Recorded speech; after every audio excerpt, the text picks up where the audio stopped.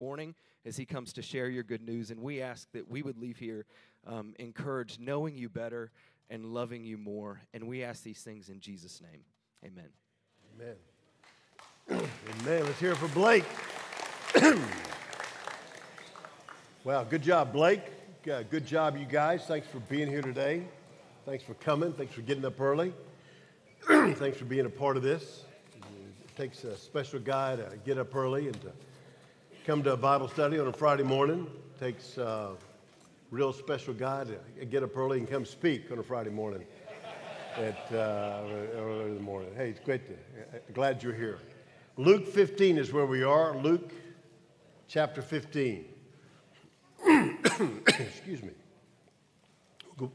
We're going through the Gospel of Luke, and, and, and today is um, Luke.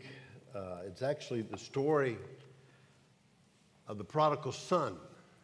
And of course, I think everybody, if you've been in church at all, if you've been in church all your life, you've heard this story 10,000 times. And uh, you, uh, even if you're not, um, uh, most people have heard just the idea of the prodigal son and the story and, and all of that. It's just, uh, it's just a great passage of scripture. We're going to do uh, just that passage about the um, prodigal son, chapter 15, verses 11 through 20, 24 is mainly what we're going to do today. Um, we'll mention the elder uh, brother in verses 25 through 32 as well, but uh, mainly that. But this is, it's, um, this is obviously, there's a context of this story, and, there, and, and, and the story of the prodigal son is, is one of three stories that Jesus is telling. And he's, he's uh, telling the um, uh, verse 1 of chapter 15 tells us who Jesus is telling the story to. And now the tax collectors and sinners were all drawing near to him. And the Pharisees and the scribes grumbled. Pharisees and the scribes were always grumbling and always, always against Jesus and just didn't, didn't like uh, who he was, what he was saying. And of course, they, uh, their main complaint here is Verse 2 And the Pharisees and scribes grumbled, saying, This man receives sinners, and he eats with them. and uh, this, they make that as a major slam against Jesus. But uh, men, aren't you glad Jesus Christ receives sinners and eats with us? And if we're knock, he, he's knocking at the door. And if we open the door, you know, he'll come in and he'll sup with us, and, and you with him, and him with you, and we can have a relationship with him. They make it as a slab, but that's the greatest thing you can possibly say about the Lord Jesus. And it's why he came. And so uh, he's going to tell them three stories, and, and, and it's all about lost things. Three things are lost. There's a sheep that's lost. The shepherd goes and, and finds the sheep. There's a coin lost. And the lady of the house uh, does everything, sweeps everything, looks everywhere to find that coin. And then there's a lost son and, uh, who, who goes away. And he is going to be uh, found as well. Oh, but his point is uh, uh, Jesus is telling them what God is like, what the Father is like. What the Father is like is he, he loves things that were lost but now have been found and things that were dead and now are alive. And he delights in that and the joy of that. And, and, and, and this is all about something lost, all about something being found, and then all about all the rejoicing happened as a result of this lost thing being found. And, and, and, and it says in all three of these stories, when the thing is found, the uh, uh, sheep or the coin or the boy uh, the lost thing is rejoicing because he's been found. The one who found them is rejoicing because they were a part of founding the thing that was lost, and now they've been found. They're, they, uh, all of these get their neighbors around them, and, and everybody is rejoicing with that. And then it says in, in all three stories, all of heaven rejoices. All of heaven is rejoicing in this thing. And the, and the bottom line is that God loves us and he delights in us. He's find, he finds his pleasure in us. He enjoys us. He, is, he wants to have a relationship with us. But the, Of course, I think everybody knows, hey, God, God loves us. Yeah, God has to love us. I mean, God's love, and, and, and, and, and for God so loved the world, all that. But uh, there's a, another dimension in this is that it is this idea. Man, God, God delights in you. He delights.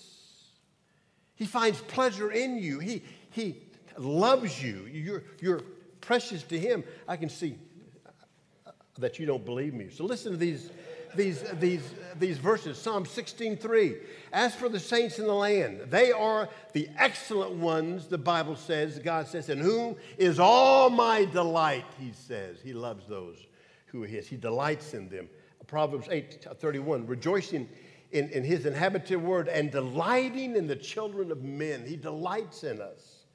It's Deuteronomy uh, 30, verse 9. For the Lord will again take delight in prospering you and blessing you as he took delight in your fathers. And Zephaniah 3:17 The Lord your God is in your midst a mighty one who will save he will rejoice over you with gladness he will give you by his love he will he will exult over you with his singing he delights in us Isaiah 62 4 actually makes this blunt fact statement The Lord delights in you.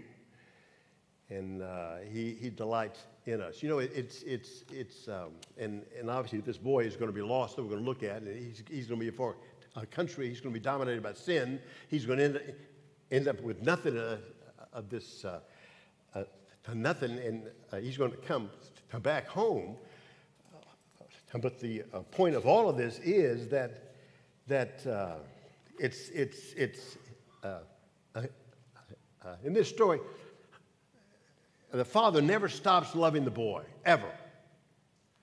He delights in the boy. And you know, men, it, it's an interesting thought.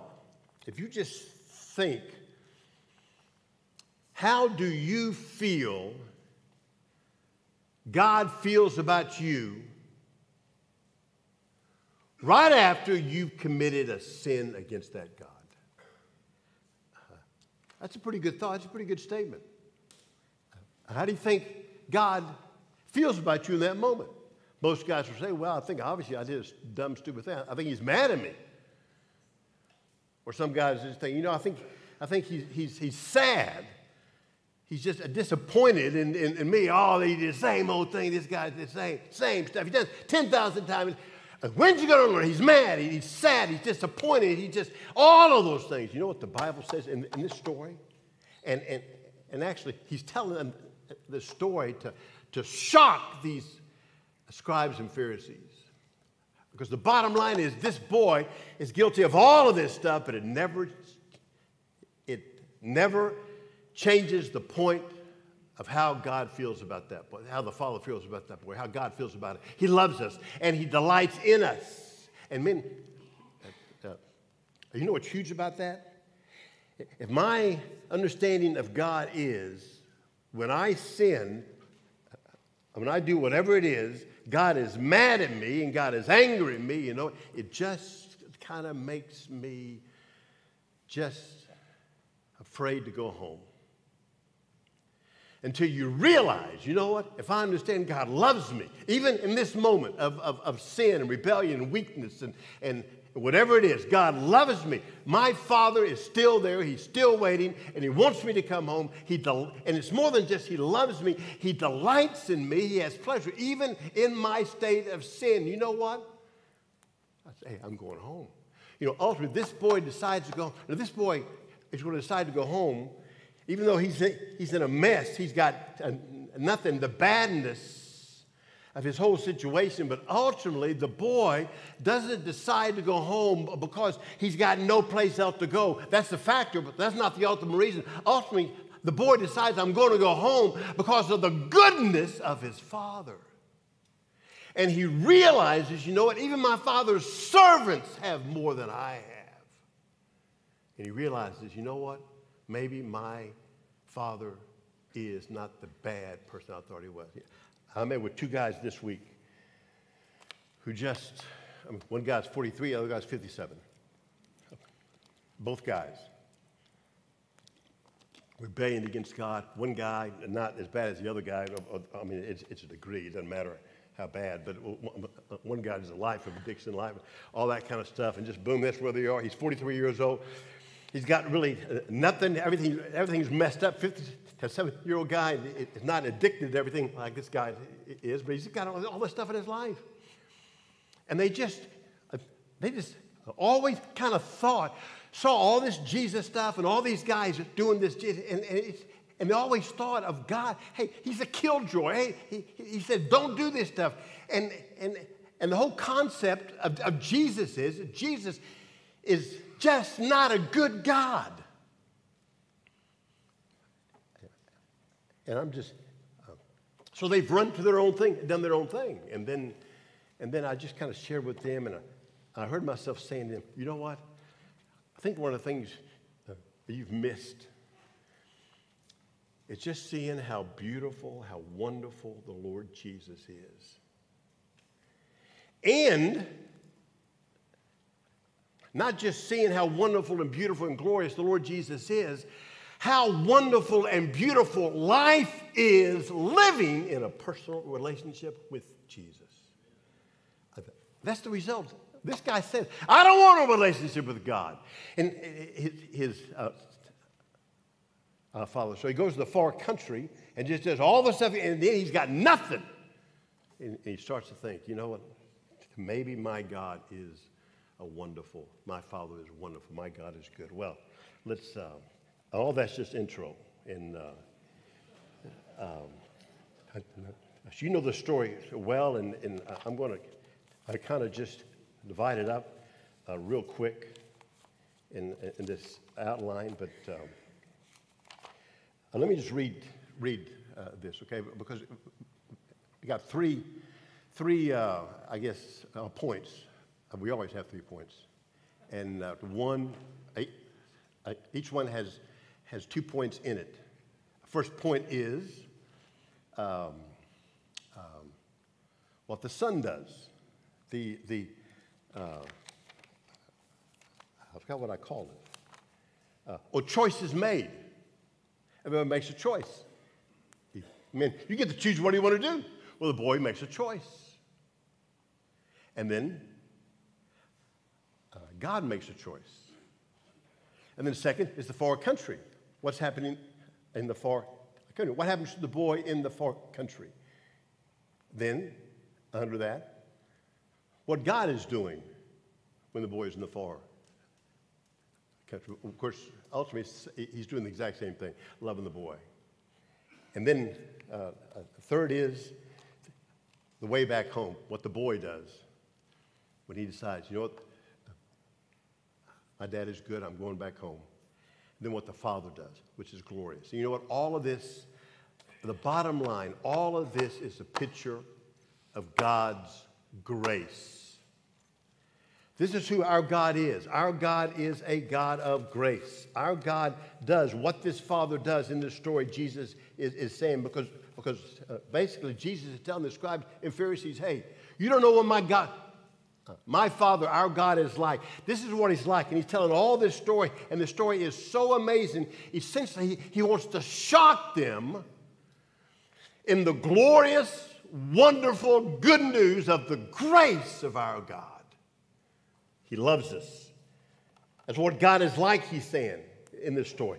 That's what, uh, that's what God does. That's what he, He'll do for you. This whole thing is going to shock the scribes and Pharisees. I pray it shocks you and me and, in this thing. It blows you away, and we'll understand truly and, and fully and forever that our God loves us. He, he delights in us and He is pleased with us and He wants us to experience Him personally in life as we believe Him, as we trust Him, and to experience the life He wants to bless us with. That's the bottom line of this whole thing. Well, here's what He says, verse, verse 11, chapter 15. I've kind of blown my whole time on, on, on the uh, introduction. And He says that there was a man who had two sons.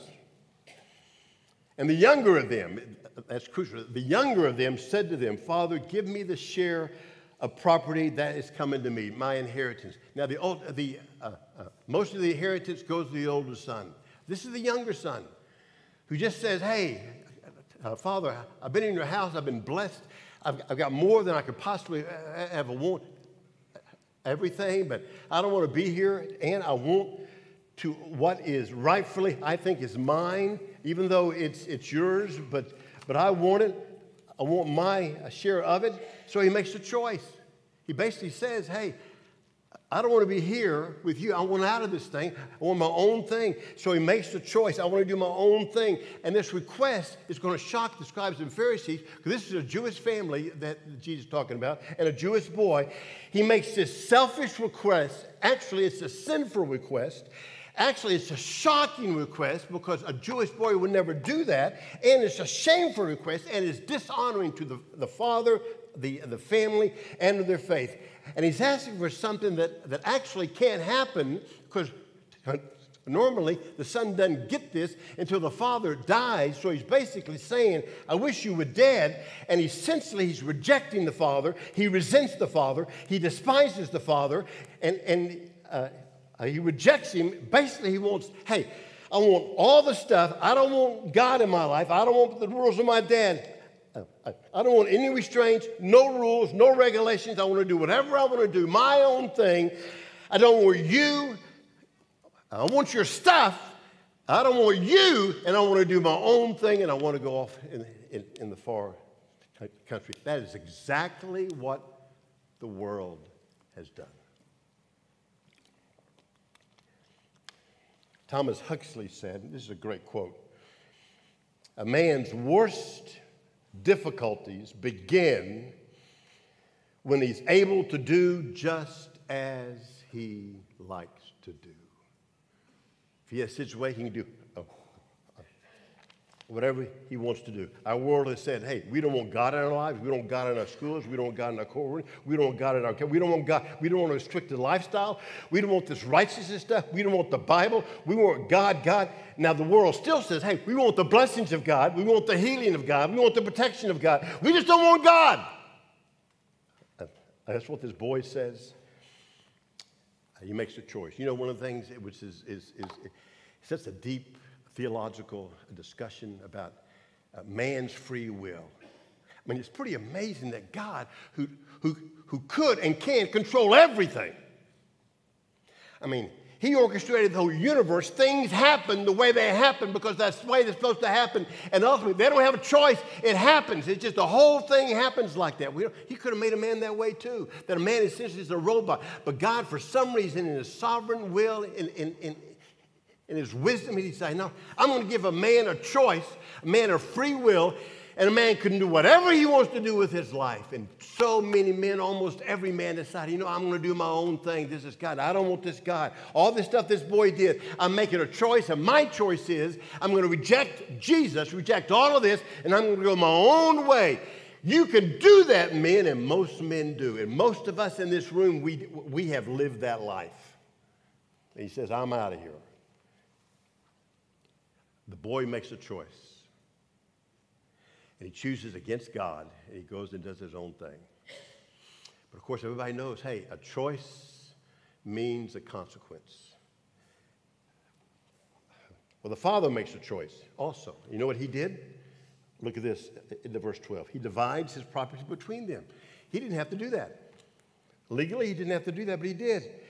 The father gave the son what the son asked for course, that shocked all these, these Pharisees and scribes and everybody because, because he's going to love him. It doesn't matter. He's going to love him. Even if the boy doesn't love him, he's going to love him because he loves because God loves us as the Father loves his boy with an everlasting love, an unconditional love. He's going to love him a forever kind of love. It's the love the Bible says bears all things, believes all things, hopes all things, endures all things. Love never fails. The Father loves this boy. This Father, essentially, as God has for us, He has created this boy. It's His by uh, birth, by blood. He has blessed him with everything He has in His entire life, all the good stuff. And He knew this boy's going to make this choice, and the Father knows, as God knows about us, He's making this choice, but he, the Father knows, and men, God knows, making a choice against God, God knows it's not going to end well. It's going to be a disaster. But the father loved the boy enough to let him go. Hey, The point is, son can do whatever he wants to do. And the son says, I'm spitting in your face. I wish you were dead and I'm out of here. The father says, I still love you. And I will always love you. Yes, the boy gets to choose, the father, God gets to choose as well, and God chooses to love the son that never stops loving. You know, it's, it, it's essentially like this, and, and obviously we have, have talked about this before, but, but, but God could choose to uh, uh, deal with us any way he wants to. He could decide to deal with us with justice. Uh, you don't want justice. You don't want God dealing with you according to justice. Because justice means, hey, you sin, you die. The wages of sin is death, right? Well, justice means, hey, you violate God's law, you're punished, you're out of here. God could have said, hey, I'm going to deal with a man, I'm going to deal with this boy according to justice. He's leaving, I'm going to zap him and he's going to die. Or God could have said, you know, I'm going to deal with him um, in mercy. And, and ultimately, God deals with us in mercy. Mean, hey, wages of sin is death, but the mercy part is you don't die right now. You could die. You sin, you die. You're burned up. God said, well, there's a curse on the world that, that's sin, and uh, there is death, separation from God. But, but the mercy is you don't die right now. Uh, justice is we get what we deserve. Mercy is we don't get all that we deserve. Grace is we get what we do not deserve, which is to be loved, to be delighted in by a God who loves us unconditionally. Just see. He just God, the father decides that God decides, I'm going to love this boy. I'm never going to stop loving this boy. I'm going to look for him. I'm going to be hopefully coming back, looking for him until he returns. I want God to uh, this a boy to experience the fullness of all the things I have for him, he never, God decides, he chooses, I'm going to love him regardless. Men, never forget, God always loves you, never has stopped loving you, and he, and he delights in you. He created you, he died for you. He's got a plan for your life, he loves you. Here's what happened uh, in the far country, though. Look at this, verse uh, 13. Not many days later, the younger son gathered all that he had and took a journey to a far country and there he squandered his property in reckless living. You know, it's interesting, he doesn't really qualify what all that means, but, God his, but the elder son later on uh, says down, he's mad because the son comes back and his father uh, forgave me. And he says, Hey, why would you do this for your son of yours who's devoured your property with prostitutes? An older son just knew what this guy would did. He, uh, he just is in rebellion, lost everything through reckless living, ungodly living, just shameful in everything he did, and, and just, just as bad as you can get. He, he essentially said, Hey, I'm going to do what sin does. Sin always leads where sin leads, and sin always leads to a bad place, a bad situation. Both of these guys who talked to me this week, who came to say, just, just hey, why are they in my office? Because they're in a bad place. Just made all these choices, and, and now it's a disaster. And they got all this stuff happening in their life. What Jesus is, is picturing here is he's, he's picturing for the, the um, uh, uh, scribes and Pharisees the worst possible scenario of a boy you would assume who did so much stuff, who was so dirty spiritually, who was so sinful, who was so ungodly, who just, all of this, he's now in a pigsty, a result of his lifestyle. You would just assume the scribes and Pharisees were, were saying, there's no way the Father takes this guy back. But Jesus is saying, yes, God, God is that kind of God who loves this boy even in this situation. You know what? Uh, this boy never dreamed that the far country is going to be what it was. He was expecting it to be the best time of his life, ended up to being the worst. And what happens after that? A famine comes, and uh, verse 14, and when he had spent everything, he's got nothing left. A severe famine arose in, in that country. You just wonder if God didn't have a hand in that. And he began to be in need. He's got nothing. So he went and hired himself out to one of the citizens of the country who sent him in the fields to feed the pigs, the worst possible. Again, these are uh, uh, scribes and Pharisees, Jews, and, and the worst thing you would do, you don't even eat a pig, much less live with the pigs and, and, and, and, and, uh, eat with the pigs, eat with the pigs eat. It, it, it's the worst possible scenario. Verse 16 says, And this boy was longing to be fed with the pods the pigs ate because he didn't have anything. For him, the delight was, because he didn't have anything, the best thing he had, what he was excited about, was the worst possible meal you can have, the, a pig food. And it says, No one gave him anything. He's got nothing now. A boy, it, it, it's just in a state that uh, it's the worst of the worst of the worst. Sin promises freedom, always has. Sin always brings slavery, always does. Sin promises success, it always brings failure. Sin promises life, but the wages of sin is death.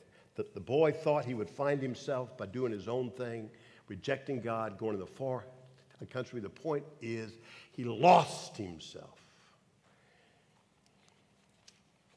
So, what does the father do? This boy as Jesus just as he's telling this story, he just painted the most worst scenario possible of a boy who does not deserve anything from God. Oh, what the father does, he keeps loving, always loving, always watching, always hopeful, always wanting the best for the boy and from the boy. Never changes, loves it with everlasting God. Ephesians 2 4, 5, and 6 says this But God is rich in mercy because of his great love with which he loved us. Even when we were dead in our trespasses, he made us alive with Christ. By grace, you have been saved and raised up with him and seated with him in the heavenly places. It's Romans 5, 6, 8, and 10, one of the great statements in all the Bible. For while we were still weak, at that time Christ died for us, the ungodly. But God shows his love for us, and while we were still sinners, Christ died for us. Verse 10 for if, Romans 5. For if we were enemies, we were reconciled to God by his death of his son. Much more now that we are reconciled, shall we be saved by his life. You know, a, a fascinating statement in John 17 23. Just before the, crucifixion and the arrest of Jesus and all that stuff, and all the disciples are going to fail and they're all going to run and, and they're going to reject God, all that stuff. Jesus makes this statement, John 17 20. Jesus said, I in them, Lord, and you in me that they may become perfectly, so that the world may know that you sent me and, and, and, and that you love them even as you loved me. Now, these men are about to fail miserably on that night. Yet he says, God, just how much you love me, and God, you love them, these men, just as much as you love me. Well, they, um, this, this boy realizes, hey, I'm not in a good place. He realized, I got nobody, I got nowhere to turn. This, this scene is awful. I'm, I'm in. This life is anything but beautiful. It's a disaster. It's, it's death. It's depression. It's addiction. His life and his father, and all of a sudden, he sees all of that differently. He saw all of that before. It's going to be awesome. Now he sees all of this, this life, as awful as it is, and the end result, there's nothing there. But now ultimately he sees his father differently, and he realizes even my father's servants have what. So he decides, you know what? I am going home. And it actually says, verse 17, but when he came to himself, he had lost himself, but now he's coming back to himself because he's going back to the one who created him. And he said, when he came to himself, he said, How many of my father's hired servants have more than enough bread? But I perish here with hunger. I will arise and go to my father, and I'm going to say to him, What is he going to do? He's, he's going to uh, give his dad a speech. Why is his, his dad, he hopes he's going to take him back because the boy is thinking, I don't deserve anything my dad has because I've abused it. I, have hurt him. I, have rejected him so I don't deserve anything. So he thinks, I got to earn this thing back. That's what he's thinking. So here's what he says three points in this message. Again, three points. There's always three points. Uh, uh, three things he says. He says, here's what he says in the verse 18. I will say to him, Father, I've sinned against heaven and before you. That's the first thing he says. I've sinned. Two, he says, I'm no longer worthy to be called your son. He, he said, Father, I've sinned against you. too. I'm not worthy uh, to be your son. Third, he says, treat me as one of your hired servants. Uh, He thinks, I'm not worthy, I don't deserve it. I've got to work my way back into your good uh, grace, and, and, and, and, it's got to be earned. I've got to deserve this thing. Well, uh, his first statement is, I have sinned. You know what? I mean, uh, if you're coming back to Jesus, that's where you start. You say, I have sinned. The boy is right there. I have sinned. He has sinned. And with this statement, this attitude, this this uh, reflection of the heart is going to change everything. I've sinned. And then he says, I'm not worthy. That statement is also true. He's not worthy. Men, we are never worthy. I wasn't worthy when I trusted Jesus Christ in sophomore in high school. I wasn't worthy now. I'm not worthy ever. I, I will never be worthy to get heaven and eternal life and a relationship with God through His Son, Jesus Christ. But we don't have to be worthy because Jesus loves us just like we are. And so his, his third point is hire me. Now, treat me as one of your staff. That's what he's going to say. So here's what happens. That's what the boy decides he's got to do. Then this is what the father decides he's going to do. And he arose and came to his father, but while he was still a long way away, and then five great uh, things that the father does. His father, one, saw him his father felt compassion for him. That's the second thing. His father ran toward him. That's the third thing. His father embraced him, hugged him, and his father kissed him. And the son decided, I got to make my speech. Verse 21. So he starts his speech. And the son to him, Father, I've sinned against heaven and before you. I'm a sinner. Two, I'm not longer worthy to be called your son. Verse 22. But the father said, What's fascinating there, he's got three points. He mentioned the first two, which are true. I'm a sinner, I'm a worthy. And he's about to say, hey, I'm not, uh, hire me back, let me work to gain the graces. But the uh, father uh, interjects, interrupts him, and never lets him say, say the third point. And the father uh, does this. This is what the father does. The boy's expecting the worst. The father says, verse um, 22, and the father said to his servant, Bring quickly the best robe. That's one. Put it on him. Put a ring on his hand. Put shoes on his feet. That's three. Bring the fatted calf and kill it and let us eat. For this is my son was dead as alive. He was lost and is found.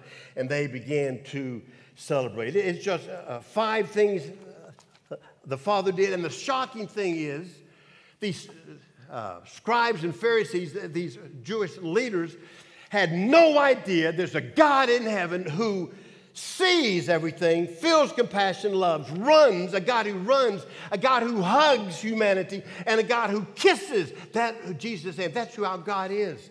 He sees, he knows everything. Man, he's always looking. He, he, he's always anticipating. And he loves you. He feels compassion. He always has.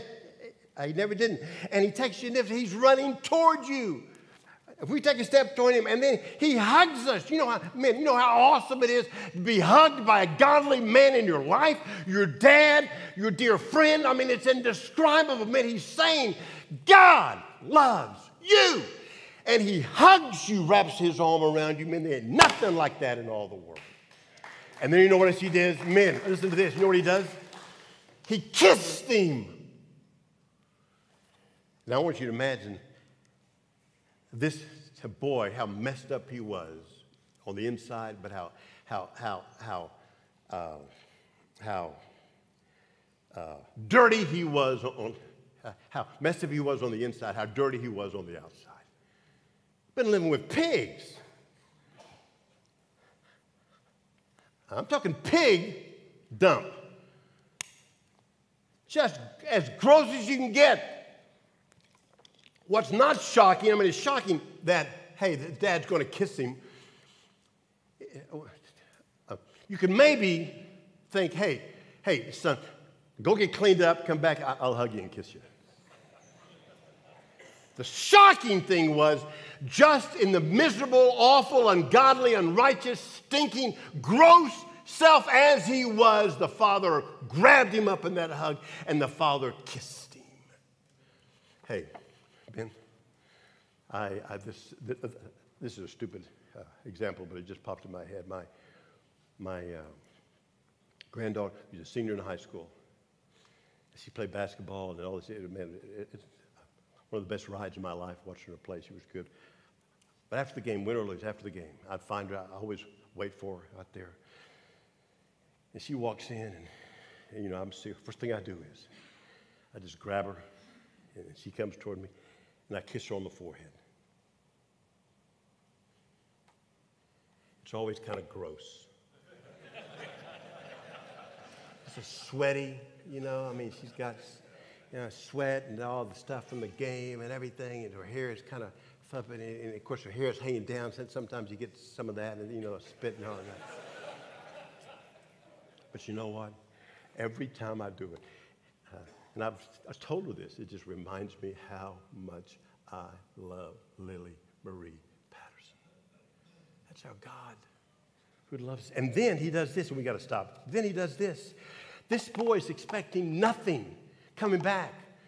And it says, the dad says, bring the best robe.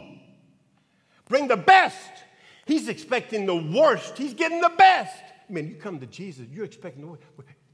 You know what? You're, you're going to get the best that Almighty God has for you in life, in living. He brings the best. And, and the elder uh, son is, is mad about this because he knows, hey, we only saved this best robe for the governor, some big shot. This boy has no right to this thing, but the father says no. That's our God. That's grace. And he puts a ring on his hand. Nor what that simply means? Hey, this boy now, because he got the ring, he said that the dad gave him the credit card. He's got everything he needs now. Our God, men, has blessed you with every spiritual blessing in all the heavenlies. Everything you need. Be the man God wants you to be, the God created you to be, the man you need to be, the husband you need to be, to love your wife the way a man's supposed to love your wife, to raise your kids, to walk in holiness, all of that. We have the, the signet ring. We belong to him. We have the authority of Almighty God. It's what Jesus said in Matthew 20. All authority I have in heaven, and I'm giving it to you, men and then put shoes on his feet. Slaves didn't wear shoes, sons did. He's now a son of the Father in the family. And we're going to celebrate. They could have had a funeral meal. Now they're going to have a festive party, and we are going to uh, celebrate. Why? Because my son was dead. Now he's alive. He was lost. About he's found? Well, man, I want you know, both of those guys this week got on their knees in my office and trusted Jesus Christ. Both of them have done something in the past. They made a commitment somewhere down the road and did something, but you know, each of them said, "I'm not sure what I did. I'm not sure." To be honest with you, they said, "I don't know where I was."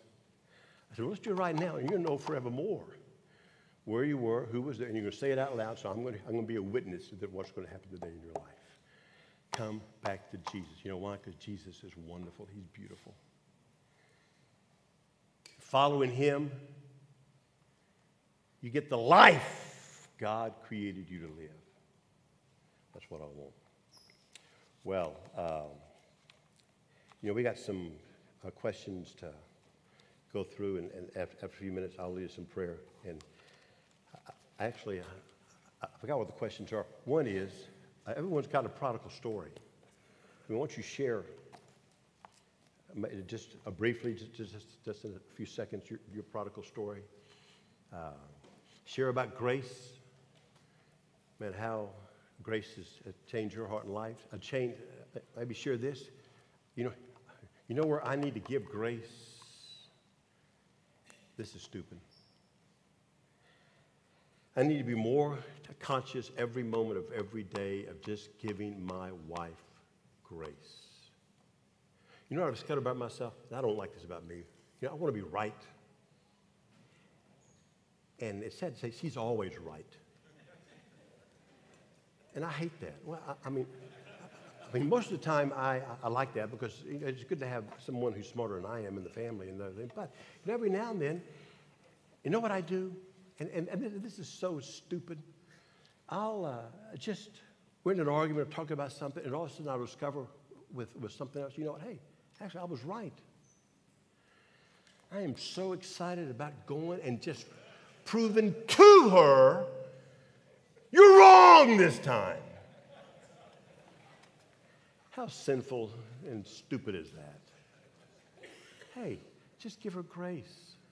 There's sometimes she doesn't, oh no, I can't I say about, I was about to say sometimes she doesn't do it exactly right. She does it exactly right every single time. Hey, just give grace. I've been giving grace. Why wouldn't we give grace, man, to people around us? And then, hey, there are three personalities in this story. You got the father. God, I want to be like this father. You got the son. Man, if I'm still in that far country, I'm coming to my senses, coming to myself, and I'm going home. There's the elder brother who is mad and angry about everything. I don't want to be that guy. I don't want to be a grumpy old man who's just mad and angry. I, I want to be a man who's been so forgiven, so full of grace that I give. I live grace. I talk grace. I speak grace, and I share grace. Just uh, be that. Well, take eight minutes and just kind of share around your tables and talk, and then I'll close this up. Uh, uh, and just kind of share your heart for a couple of minutes with one another.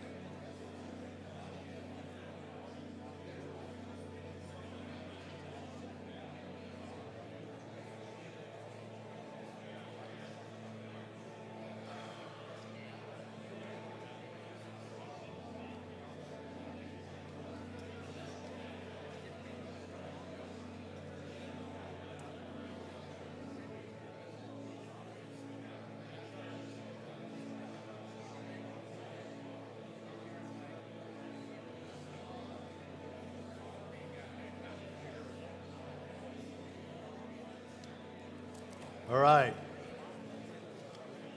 Uh, let me wrap it up and uh, just pray. Uh, you know, just before, uh, yeah, if you want to kneel, uh, go ahead and kneel if you want to, and I'll, I'll lead us in a prayer. you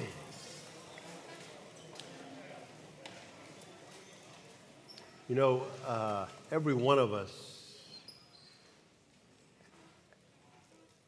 has been the prodigal son, and we've all been away from the Lord before we met Jesus, and before we confessed our sin and got right with God, all of us were in that far country. And every one of us in the room have got stories. I Just like this prodigal son, this boy that came home, he, he, he, um, uh,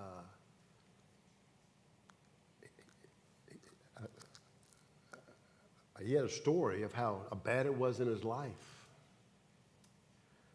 But now he's got a greater story because he, he has a greater story of what God has done in his life and the blessings and, and the, the peace and just all that God has for him and, and personally, and then in living, in the life he's living. So if a man is here this morning and you've never said yes to Jesus, and you know in your heart of hearts you're still in the far country, man, you're already on your knees. I just confess your sins before Jesus. Lord, I'm a sinner and I need a Savior. And Jesus, I now realize that you are the Savior, the Savior of the world, who, if I confess you, confess my sin, you'll come into my life. Forgive me of my sin. Cleanse me. Make me a new person. And give me, a, make me the man you wanted me to be, to live the life I'm supposed to live. And give me the gift of eternal life. God, I pray somebody has prayed that prayer and all of heaven is rejoicing. And one who was uh, blind, but now they see, and dead, and now they're alive. God, I pray for us. I pray, I pray for me. God, thank you for what you've done in my heart and my life. And just, uh, just that, um, I thank you for getting me to, to a point where I knew I needed Jesus, and I, I trusted him as my Savior. And God, I thank you for helping me just, just to say, you know, I'm going to follow Jesus. I'm going to do life his way and just read his word and then, then obey it and, and just believe it and obey it and just walk in it. And God, help, help me to be faithful to you. And God, if I'm faithful to you, then I'm going to be that man I need to be, that Sheila needs for me to be. And my three kids and their spouses, my 12 grandkids, were just, I, just to be the man in their lives and to live um, a godly life. God bless these guys today. Help us to honor you today in everything we do. May we be ready with a witness to always give a reason for the hope that's within us and to tell somebody about Jesus. And God, bless this weekend services here and all around the world. May you be lifted up. God, may you do a work in the lives of men all over the globe. And we'll see an uprising, just revival, a spiritual awakening of, of men who, who just, at, at, at just such a time as this in history, would just stand up and be the man God created them to be. God bless us. Thank you for your love. Thank you for